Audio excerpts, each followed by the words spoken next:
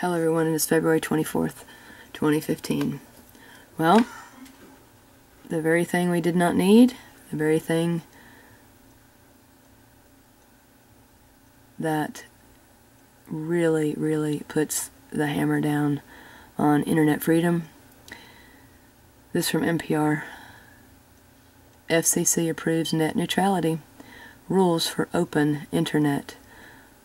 Well, it's not going to be open internet. It's going to be more closed internet. And there they are.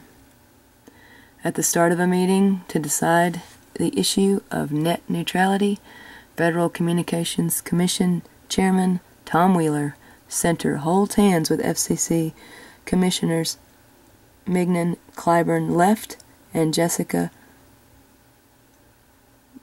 Rosen Worcel at the FCC headquarters Thursday. The FCC, Federal Communications Commission, approved the policy known as net neutrality by a 3 to 2 vote at its Thursday meeting, with FCC Chairman Tom Wheeler saying the policy will ensure, quote, that no one, whether government or corporate, should control free, open access to the Internet. Well, that's not what it's going to do. It's going to close down and make it less open and less free.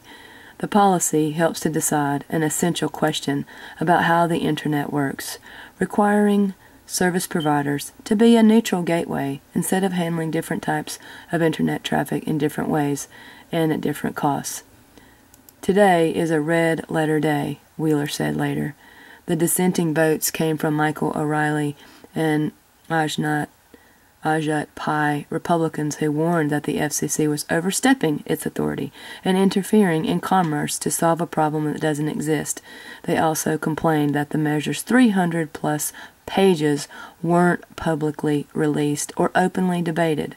That is the essential piece. That the FCC is overstepping its authority and interfering in commerce to solve a problem that doesn't exist, that can be handled by just the free market.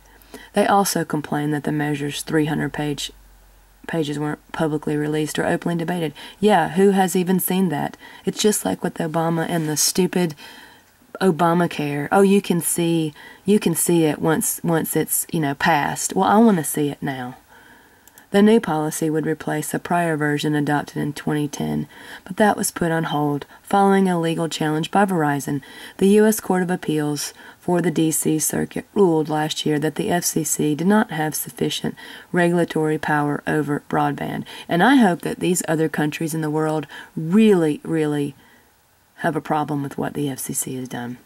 After that ruling, the FCC looked at ways to reclassify broadband to gain broader regulatory powers.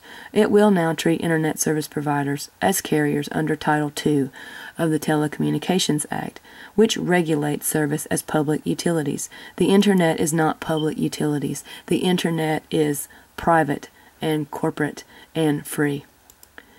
Update at 1:22 p.m. ET rules will apply to mobile. The landmark open internet protections that we adopted today should reassure customers, businesses, and investors. Well, it doesn't. Anything that the government has its hands in is always mucked up. Speaking at a news conference after the vote, Wheeler says the new policy will ban blocking, ban throttling, and ban paid prioritization fast lanes, adding that for the first time, open internet rules will fully will fu- be fully applicable to mobile. Well, this is absolutely horrible. Absolutely horrible.